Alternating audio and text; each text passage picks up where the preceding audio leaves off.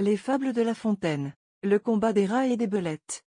La nation des belettes, non plus que celle des chats, ne veut aucun bien aux rats. Et, sans les portes étroites de leurs habitations, l'animal à langue échine en ferait, je m'imagine, de grandes destructions.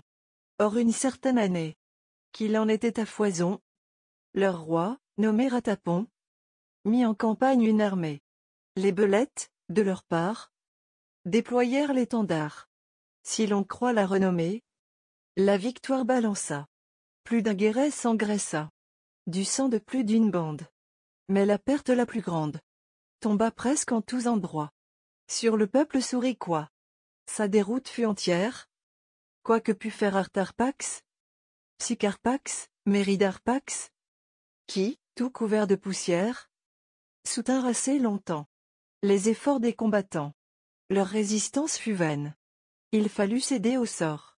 Chacun s'enfuit au plus fort. Tant soldats que capitaines. Les princes périrent tous. La racaille, dans des trous trouvant sa retraite prête, se sauva sans grand travail. Mais les seigneurs sur leur tête, ayant chacun un plumaille, des cornes ou des aigrettes, soit comme marque d'honneur, soit afin que les belettes en plus de peur, cela causa leur malheur. Trou, ni fente, ni crevasse, ne fut large assez pour eux, au lieu que la populace entrait dans les moindres creux. La principale jonchée fut donc des principaux rats.